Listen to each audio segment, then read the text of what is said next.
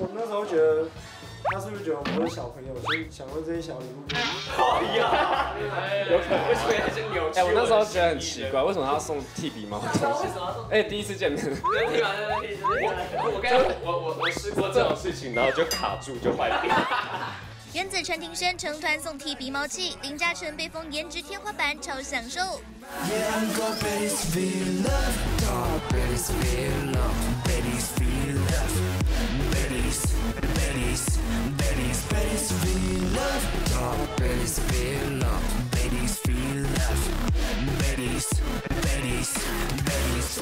年十九号播出最新一集，地球邻家男孩都不邻家了。才刚完成的千人粉丝见面会，团员已被台下给力的应援感动哭。我们是去炸场的，非常感谢各位粉丝有帮我们这样子应援。他爸妈不管对谁，就是只要他说哎大家好，我是 Max，然后爸就 Max。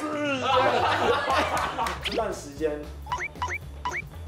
成长，他们也都有看见，所以他们昨天就考虑要不要给我零用钱加钱。啊，结论是是，没有，他们觉得很感动，然后也觉得就是感受到很多少女为自己儿子疯狂这样。对对对从节目播出啊，你就一直被冠上颜值天花板这种风范，都是觉得很困扰。舞力跳舞也 OK，唱歌也 OK，可不可以不要一直跟我靠着点？我觉得还好，因为。他真的就既然会被讲，那就是可能 其他东西真的还不够。录完影之后回家，我就想，哎，谁今天在舞台上是让我最印象深刻的？然后我就去列那些名单。有你的名单是你的表情做的很。比较下沉很很加分。那其他人的这名单吗？其他人我比较少。好烦哦！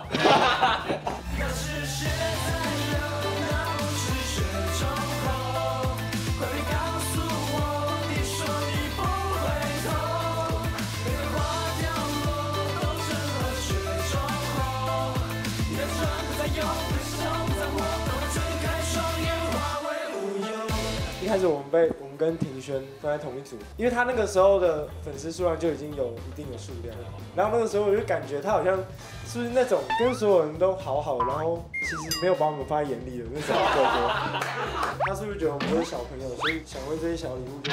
好呀，有可能为什么要扭曲？哎，我那时候觉得很奇怪，为什么要送剃鼻毛的东西？哎，第一次见面，我来解释一下。不是，就是有被粉丝拍到我鼻毛爆出来，所以呢，我就是非常害怕，因为我对，因为我对就是阴影，对阴影，就希望大家在上台前，哎，稍微管理一下自己的毛发。我还没有用过，因为我都没有，你没有鼻毛，没有没有长出来过。不然你可以剃一下腋毛。剃完了，剃。我我刚我我我试过这种事情，然后就卡住就坏掉。哎，我就是地球的高材生。